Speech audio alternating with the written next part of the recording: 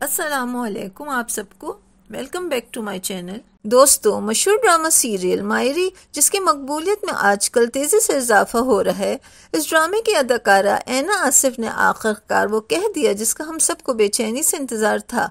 अदाकारा ऐना आसिफ ने अपने साथी अदाकार समर अब्बास के लिए ऐसे मोहब्बत भरे अल्फाज कहे, जिनको सुनने के लिए फैंस को काफ़ी दिनों से इंतज़ार था।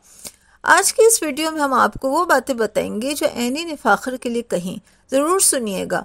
और आपसे रिक्वेस्ट है कि मेरी वीडियो अच्छी लगे तो उससे लाइक ज़रूर कीजिएगा और मेरे चैनल को सब्सक्राइब भी ज़रूर कीजिएगा। शुक्रिया। दोस्तों, ड्रामा सीरियल मायरी में एनी और फाखर की जोड़ी ने आजकल पूरी दुनिया में धूम मचाई हुई है। एनी और फाखर की जोड़ी को नंबर वन करार दिया जा रहा है। एनी और फाखर अपने अपने किरदारों को बहुत अच्छी तरह निभा रहे हैं कि देखने वाले ये जानना चाहते हैं कि क्या असल ज़िंदगी में भी इन दोनों अदाकारों का आपस में ऐसे ही रिश्ता है और दोनों एक दूसरे के लिए कैसे जज्बात रखते हैं? फैंस की ख्वाहिश है कि एनी और फाखर असल ज़िंदगी में भी एक दूसरे के साथ ऐसा रिश्ता हमेशा के लिए कायम कर लें। एना आसिफ, जब सोशल मीडिया पर लाइव आईं तो उन्होंने बताया कि मायरी ड्रामे की शूटिंग के दौरान तमाम अदाकारों के साथ इनकी अच्छी दोस्ती है। लेकिन इनकी सबसे बेहतरीन दोस्ती फ़ाखरी यानी समर अब्बास के साथ है, क्योंकि हम दोनों का माइंडसेट बहुत मिलता है। दोनों एक दूसरे के साथ ज़्यादा से ज़्यादा वक्त गुजारते हैं।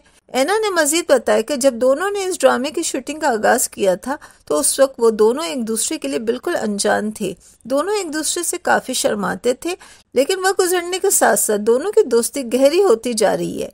एनी का कहना है कि मुझे तो ये डर है कि कहीं मुझे फाखर से असल ज़िंदगी में भी मोहब्बत ना हो जाए, क्योंकि फाखर एक बहुत अच्छे इंसान है, जिससे कोई भी बड़ी आसानी से मोहब्बत कर ले। एनी ने बताया कि जिस तरह आप लोग फाखर को ड्रामे में देखकर इस कदम मुतासर हुए हैं और आप सबको फाखर ने दीवाना बना रखा है। वैसे ही शूटिंग के दौरान एनी को भी फाखर ने दीवाना बना दिया है। मुझे फाखर बहुत अच्छा लगता है और कभी कभी तो मेरा दिल ये चाहता है कि सारी ज़िंदगी के लिए मैं उसका हाथ थाम लूँ। दोस्तों, आपको एनी ये बातें कैसी लगी? ज़रूर बताइएगा।